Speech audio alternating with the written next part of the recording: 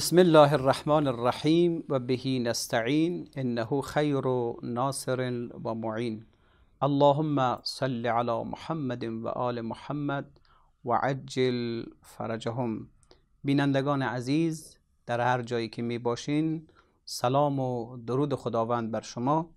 امیدوار هستم که موفق و معید و پیروز باشین.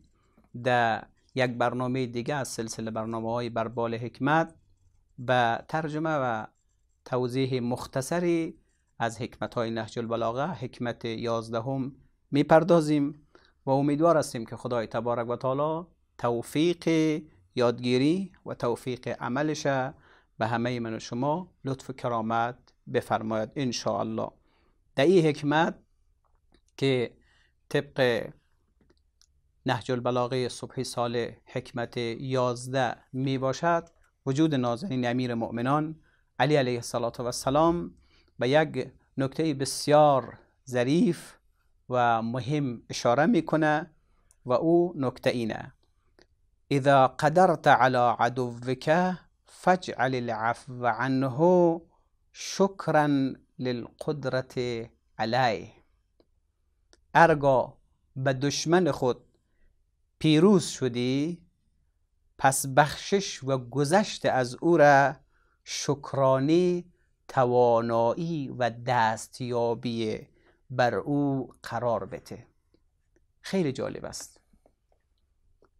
در امروزه و زمانهای قدیمم انسانهایی که از خط و مشی قرآن و ادیان آسمانی دور بودن اگه یک وقتی به دشمنشان دست پیدا می‌کردن اینقدر بر این دشمن سخت می گرفتن به تعبیری دشمن کاملا له و نابود و از صحنه روزگار محو می‌کردن. حتی حاضر نبودند آثار دشمن به جای بمانه. مثلا اگر یک تعمیر یک ساختمان یک قصری یک جای از اینا به تصرف می رسید یک خانه حتی می خانه ها را آتش می زدن شهرها را ویران می ساختن کتابخانه ها را می سازندن اما دعب قرآن و سنت پیغمبر و سنت ائمه معصومین این رقم نیست. همینجا حضرت علی علیه السلام به این نکته اشاره می‌کنه. دشمن تا زمانی که با شما دشمنی می‌کنه جنگ می‌کنه. خب تو هم جنگ می‌کنی دشمنی می‌کنی و سعی می‌کنی که بر او پیروز شوی و غلبه پیدا کنی. اما زمانی که بر او غلبه پیدا کردی و دیدی که دیگه کار از دست دشمنت ساخته نیست عفو و گذشت. در اینجا توصیه شده در همین حکمت آنگونه که در روش پیغمبر نازنین اسلام صلی الله علیه و سلم این عفو و گذشت و کرات اتفاق افتاده. خب مگه طبق آیه سریح قرآن پیغمبر اسوه و الگوی ما نمی باشه. قطعا پیغمبر الگوی ماست اسوه ماست. اونجا که خدا میفرماید لقد کان فی رسول الله اسوه حسنه. یقینا برای شما در روش و رفتار پیامبر الگوی نیکوست. یعنی پیامبر باید الگوی ما باشه. خب پیامبر شما وقتی که زندگی پیامبر مطالعه کنین در جنگ های مثل جنگ بدر و جنگ خندق و سایر جنگ ها خب چون دشمن با پیغمبر می جنگید خب پیغمبرم با اینا جنگ می‌کرد و همون کارهایی که اونا انجام می‌دادن خب قطعا پیامبر بزرگوارانه با اونا مقابله به مثل می‌کرد. اما زمانی که پیغمبر گرامی اسلام و اصحابش بر دشمن چیره می‌شدن تسلط پیدا می‌کردن روش پیغمبر کاملا عوض می‌شد. از جمله یکی از جاهایی که پیغمبر فتح الفتوح انجام داد فتح مکه بود.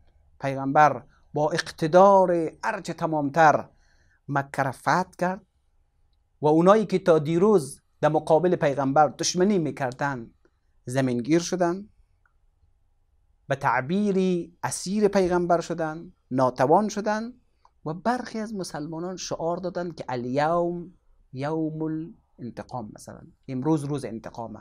پیغمبر شنید گفت نه شعار عوض کنید. الیوم امروز روز مرحمت و بزرگواریه. پیغمبر بر مکه تسلط پیدا کرده. اونایی که سالها با پیغمبر جنگ کردن سالها خطه کردن نیرنگ کردن مسلمان ها رو کشتن اما فعلا اسیرن. فعلا شکست خورده پیغمبر یک سخنرانی کرد این سخنرانی گفت که ما ترون انی فاعل بکم. گفت نظر شما چیه؟ ما درباره شما چه خواد کردم؟ اینا گفتن قالو خیرون. شما قطعا در برای ما کار خیر انجام میتین اخون کریم شما برادر بزرگوار ما هستین. و ابن اخ کریم برادرزاده بزرگوار ما هستین. پیغمبر به جای انتقام گرفتن که می‌تونست کلی از اینا رو قتل عام کنه از دم تیغ بگذرانه اما همه از اینا رو بخشید و گفت تمام کسانی که در خانه ابو سفیان جمع شوند اونا از تعرض در امانن. و این جمله را پیغمبر گفت اذهبوا فانتم الطلقا. بروید شما آزاد شده ها هستید. آزاد شده ای از انتقام. خیلی جالب است. پیغمبر حال تسلط پیدا کرده. این تسلط پیغمبر خدا این تسلط را به خاطر تسلط شکر خدا را به جا میاره. شکرش همیه که با زیر دستا و او کسایی که اسیر شده پیغمبر به بزرگوارانه رفتار کنه. خب کجای امروز؟ امروز در زندگی ما او رقم دشمنا که من نداریم یک کسی علی غیبت از ما کده یک تومتی زده یک مال کمی از ما را خورده.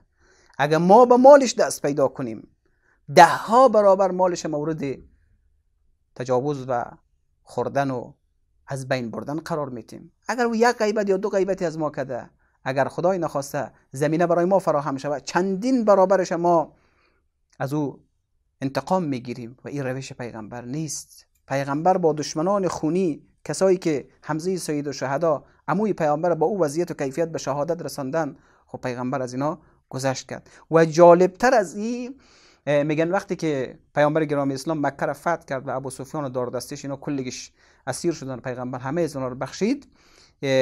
شخصی است به نام مالک ابن عوف رئیس هوازن یکی از قبایل بسیار بزرگ عربه. وقتی سخن به این رسید گفتار به این رسید گفت که مردم مکه بی غیرت هستن. ما مسلمان رو سر جایش میشانم و نام پیغمبر گرفت گفت ما پیغمبر پیغمبر که نمی‌گفت نام پیغمبر گرفت گفت من سر جایش میمانم و جنگ رو انداخت به نام جنگ حنین که در قرآن اشاره شده. در این جنگ اول تقریبا مسلمانان حالات شکست به خود گرفتن و به خاطر همون اعجاب و اعجابی که به مسلمانان دست پیدا کرده بود که بله ما امروز بسیار زیاد هستیم قدرت داریم اونا را به اصطلاح شکستشان میتیم.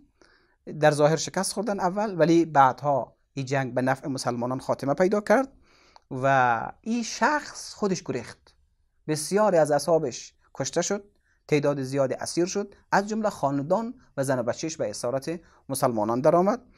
بعد پیغمبر با این اسیرا صحبت کرد گفت کجا شدم و رئیستان که رجز می‌خوان که من چیکار می‌کنم و فلان مسلمان ها رو سر جایش میمانم میشانم. کجا شد؟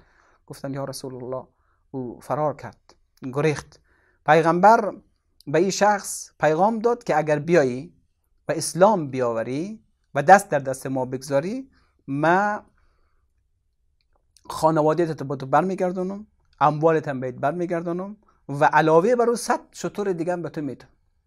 وقتی خبر به این شخص رسید و سجایای اخلاقی پیغمبر خود قبلا این مطالعه کرده بود شنیده بود براش رسیده بود و خود فکر کرد که پیغمبر مثل این سیاست مدارای دغلباز و دنیا دوست نیست. دیدین دیگه خود زیاد است. وعده میتن وعید میدن بر وعده و وعید رقیب میکشانن و تحت اسارت در میارن بعد فاتحش می‌خوانن. ای با خودش اندیشید که پیغمبر چون شخص نیست. او محمد امین است. او بزرگواره. با خودش تصمیم گرفت آمد محضر پیغمبر تسلیم شد مسلمان شد و با جان و دل مسلمان شد. پیغمبر اهل و عیالش به او برگردان مال دارایش هم به او برگردان. و علاوه بر از او وعده ای که کرده بود به او وعده خودش هم عمل کرد. این اخلاق بزرگوارانه پیغمبر ای را به تسلیم وادار کرد. وفای به عهدم کرد پیغمبر. نیکی بیش از حد به بیش از حد که ما میگیم نیکی انجام داد. و این باعث شد که انسان دشمن درجه که پیغمبر که رجزها خوانده بود که من مسلمانان رو چطور می‌کنم پیغمبر رو چه کار می‌کنم شد یکی از اصحاب پاک باخته. و یکی از سرداران اسلام که بعدها در فتح شهرها و سایر بلاد و مسلمانان کمک شایانی کرد. یک بار دیگر متن حکمت می‌خوانیم اذا قدرت علی عدوک زمانی که دست پیدا کردی تو بر دشمن خودت فجعل العفو قرار بده عفو و گذشت عنه از او را شکرن شکر به خاطر دست یافتن بر او. بگو خدایا من تو را شاکرم که مرا به ای پیروز کردی و او را مغلوب کردی. حالی که مرا به او پیروز کردی و او را مغلوب قرار دادی. مرا غالب قرار دادی و او را مغلوب قرار دادی. من به جهت شکر تو از انتقام گذشتم. و چه جالب گفتند که لذتی که در بخشش است در انتقام نیست. باشد که ما بسیاری از کسانی که دانسته یا ندانسته که بسیارش ندانسته به ما بدی می‌کنن اداوت می‌کنن اینها را با گذشت اسلامی با اینها رفتار کنیم. قطعا در آینده اینا از دوستان ما انشاءالله خواهند شد. و السلام علیکم و رحمت الله و برکاته.